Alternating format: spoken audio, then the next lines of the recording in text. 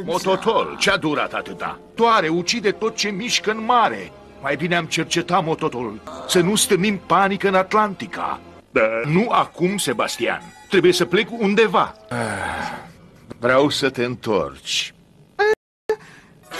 Am zis, vreau să te întorci, Sebastian. Palatul a fost foarte trist fără tine. Am eu că o să-ți plac. Întotdeauna mi-am dorit să cânți la orgă, dragă. Și acum visul meu se va împlini. Bastian te va învăța. O să fii cea mai bună interpretă de sub mare.